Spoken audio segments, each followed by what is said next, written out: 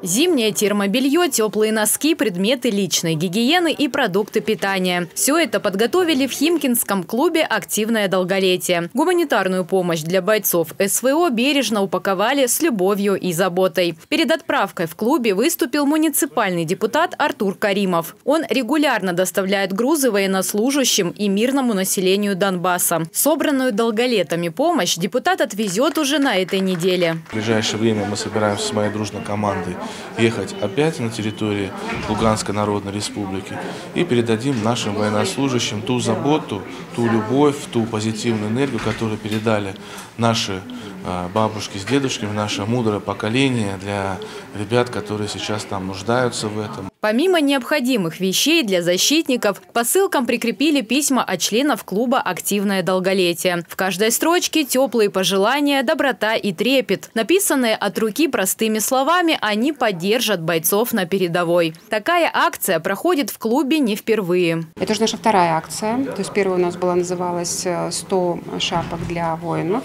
СВО.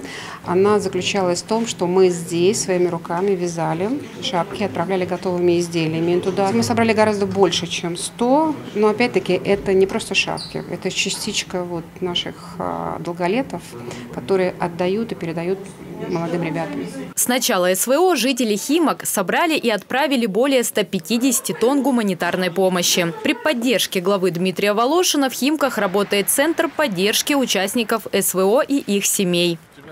Елена Тараненко, Дмитрий Бочаров. Новости Химки ТВ.